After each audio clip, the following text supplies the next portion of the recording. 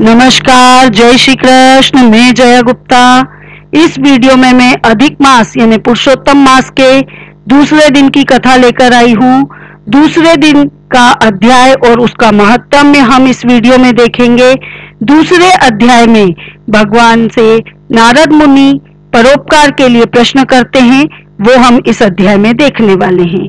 सूत जी बोले, हे ऋषियों मैं भी शुक्रदेव जी के मुख से राजा परीक्षित को श्रीमद भगवत की परम मोक्ष देने वाली कथा को सुनकर और राजा की मोक्ष प्राप्ति को देखकर उनकी कृपा से यहाँ आया हूँ, जहाँ आप सब दीक्षित ब्राह्मणों के धर्म, यज्ञ कार्य में प्रयत्नशील हुए लोगों के दर्शन कर कतार्थ हो गया हूँ। ऋषिगण बोले, हे सूत जी, अनान्य बातों को छोड़कर आप हमें वेदव्यास जी के मुख से सुनी हुई अपूर्व कथा सुनाइए। जो सार का भी सार महाश्रेष्ठ तथा आत्मा को भी प्रसन्न करने वाली अमृत से भी उत्तम पुण्य पुण्यदायिनी कथा है, उसका पान कराइए। सूत जी बोले, ऋषियों, मेरा अहोभाग्य है कि आपने मुझसे गूढ़ अमृत कथा को पूछा। अब मुझे जो कुछ ज्ञान है, उसके अनुसार जैसा वेदव्यास जी के मुख से सुना, वह सब सुनाता हूँ। एक समय नारद जी नर और नारायण के आश्रम पहुँचे। वहाँ बहुत से सिद्ध देवता और तपस्वी भी रहते थे।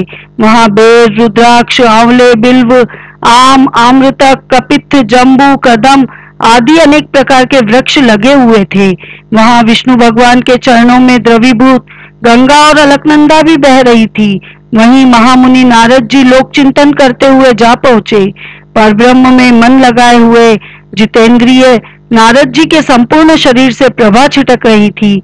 तब नारद जी ने तपस्वी नारायण को साष्टांग प्रणाम कर स्तुति करते हुए कहा, हे देवादिदेव, संसार के स्वामी, दया सिंधु, आप सत्यव्रती हो, त्रिसत्य हो, सत्य के सार रूप हो और सत्य से उत्पन्न हो।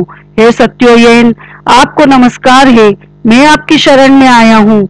आपका यह तप संसार को शिक्षा देने वाला तथा मर्यादा को रखने वाला है। यदि आप तपस्या न करें तो पुण्यात्मा और पापियों से व्याप्त यह पृथ्वी कलयुग में जैसे एक व्यक्ति के पाप करने से रसातल में चल जाती है, वैसे ही एक व्यक्ति के पुण्य करने से तर जाती है। यह आपका पुण्य प्रभाव हुई है, जिसके बल पर यह पृथ्वी टिकी हुई है।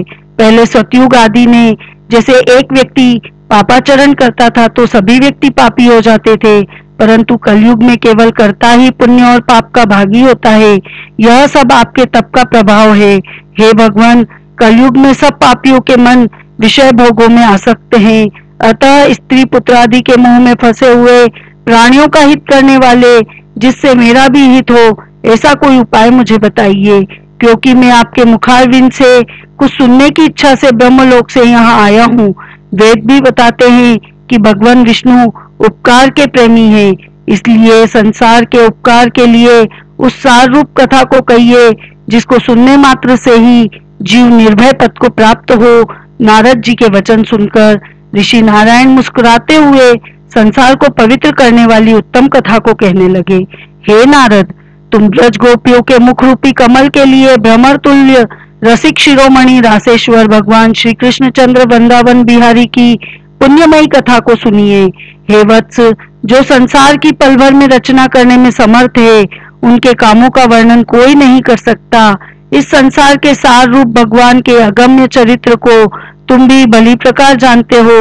जो वाणी से भी परे है तो भी मैं तुम्हारे सामने पुरुषोत्तम भगवान के दारिद्र्य एवं वैधव्य को दूर करने वाले उत्तम कीर्ति और पुत्र तथा मोक्ष को देने वाले अद्भुत महात्म्य को वर्णन करता हूँ। नारद जी बोले, हे भगवान, यह पुरुषोत्तम नाम के कौन से देवता है? उनका क्या महत्म्य है? यह सब मुझे विस्तार से बताइए। सूत जी बोले, श्री नारायण, नारद जी के इन वचनों को सुनकर एक घड़ी के लिए मन एकाग्र कर पुरुषोत्तम देवता का परिचय देते हुए बोले, पुरुषोत्तम नाम एक मास का नाम है, जिसके स्वामी कृपा सिंधु भगवान पुरुषोत्तम ही है। इसलिए इसको ऋषि लोग पुरुषोत्तम मास कहते हैं। इसका व्रत करने से पुरुषोत्तम भगवान प्रसन्न होते हैं। नारद जी बोले, मैंने पृथक पृथक स्वामियों सहित चैत्र वैशाख आदि मास तो सुने हैं, किंतु हे नाथ, पुरुषोत्तम मास कभी नहीं सुना। यह पुरुषोत्तम मास कौन सा मास है, जिसके स्वामी दया सिंधु पुरुषोत्तम कैसे हुए, सो मुझे कृपा करके बताइए। इस मास का क्या स्वरूप है, क्या विधान है, व्रत में क्या करना चाहिए, कैसे स्नान करना चाहिए क्या दान करना चाहिए? जब पूजा पाठ आदि का क्या साधन है? जिसके करने से कौन से देवता प्रसन्न होकर क्या फल देते हैं? इसके अतिरिक्त तो और जो भी सार हो, वह सब मुझे बताइए। क्योंकि दीन वत्सल साधु जन मनुष्य के हित के लिए उपदेश बिना पूछे भी दे देते हैं। इस पृथ्वी पर जो लोग दूसरों के भाग्य के सहारे चलते हैं, वे दरिद्री, दुखी, रोगी होते हैं और पुत्र की इच्छा करने वाले होते हैं, जिनमें कोई जड़ गूँगे, घमंडी, मूर्ख, कुचाली यानी मेले व फटे वस्त्र पहनने वाले, नास्तिक, लंपट, नीच, अतिवृद्ध, पराई नौकरी करने वाले, निराश मनोरथ पूर्ण न होने वाले, पराक्रमहीन, कुरूप, रोगी, कुष्ठी, अंगहीन, अंधे आदि होते हैं, तथा कोई इष्ट मित्र वियोगी, कोई स्त्री पुत्र आदि से दुखी, कोई माता पिता से हीन, कोई सुख दुख से ग्रसित, कोई दुर्बल तो कोई मनोवांछित वस्तु से रहित है।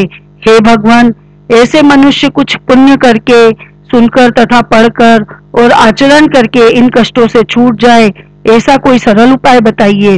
विधवापन, बांझपन, लूले लंगड़े, मानसिक कष्ट, रक्त, पित्त रोग, मृगी, क्षय रोग, भगंदर, बवासीर, पथरी, संग्रहणी, खुजली आदि रोगों से ग्रसित अन्य विविध दोषों में मैं लोगों को देखकर बड़ा दुखी होता हूँ। इसलिए, हे कृपा सिंधु, आप मेरे ऊपर कृपा कीजिए और मेरे अंतकरण की शांति के लिए, हे सर्वज्ञ, सब तत्वों के ज्ञाता, कोई लोक कल्याण का उपाय भली भांति समझा कर कहिए। सूत जी बोले, हे नारद जी, के इस संसार के हित करने वाले प्रश्न को सुनकर देवादिदेव श्री नारायण चंद्रमा के समान शांति देने वाले मधुर शब्द कहते हुए बोले, इति श्री पुरुषोत्तम मास, कथा द्वितीय अध्याय समाप्त। आपको मेरा ये वीडियो अच्छा लगा तो लाइक और शेयर कीजिए। अभी तक यदि आपने मेरे चैनल को सब्सक्राइब नहीं किया है तो कृपया मेरे चैनल को सब्सक्राइब कीजिए। बेल आइकन को हिट कीजिए ताकि मेरे नए वीडियोस के नोटिफिकेशन आपको तुरंत प्राप्त हो। हिंदू धर्म, संस्कृति, तीज त्योहार, व्रत कथा रीति रिवाज इत्यादि जानने के लिए मेरे साथ बने रहिए। जय श्री कृष्ण।